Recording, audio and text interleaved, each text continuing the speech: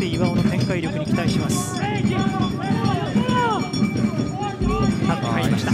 そのまま入れたボールは宮代から。いいアシスト左左サイドの武田を引っ張り出してこういいスペースに宮代ですね入ってきましたね。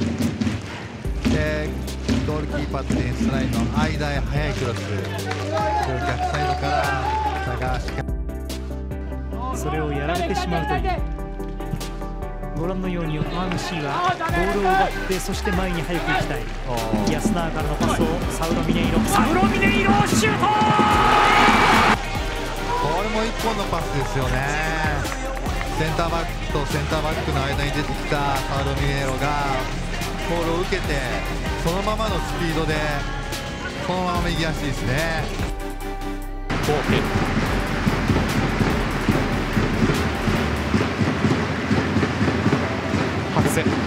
合計初瀬を走らせます。ハイボールのクロスドーグラス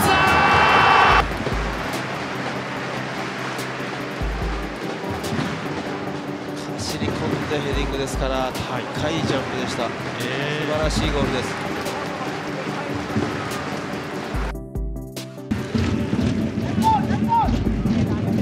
これで試合は振り出しに戻りましたま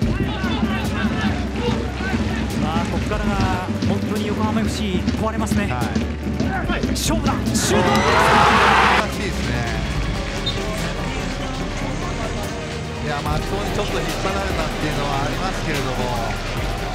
この素晴らしいですの形。のところは見えるだけですね長いボールさあここ跳ね返せるかいいか決めきれるか松田中島のところシュートは行かせません選手がうまく対応した後で、まあ、いい立ち位置を取った佐野選手がね、これ回収して、まあ、しっかりいいボールを抑えて、シュートの率も非常に高かったですし、まあ、このセカンドボールの位置にいたというところ、非常に大事な。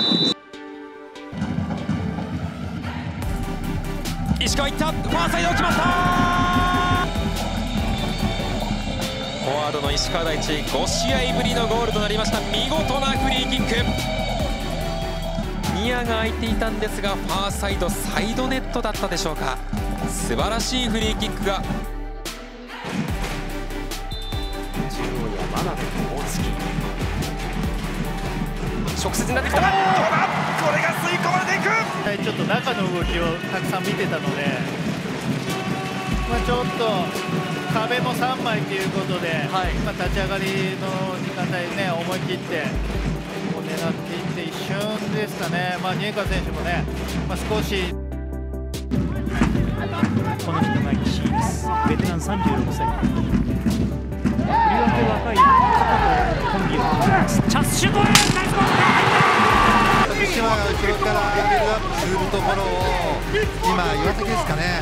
いい守備入って、えーその後瀬古へ。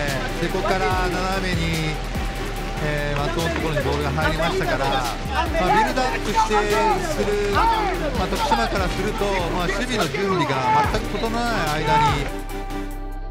阿部が左サイドの宮崎。パス交換しようというところですがもう一度パウリーニョ。上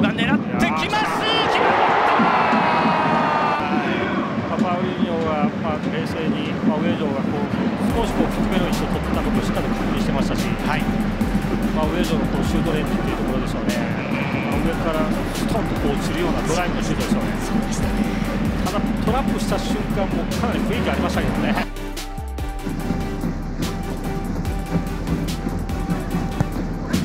今度はアイデアを変えてきました。砂場。打ちに行く見事!まあ、クロスかと思ってこうショートでね仕掛けるんですけどもここもクロスかと思ったらシュートっていうところねこの思い切りの良さがただいまの得点は得点につながりましたね、はい。北海道コー、スも本当にポスト当たってますから厳しいコースついてきましたよね。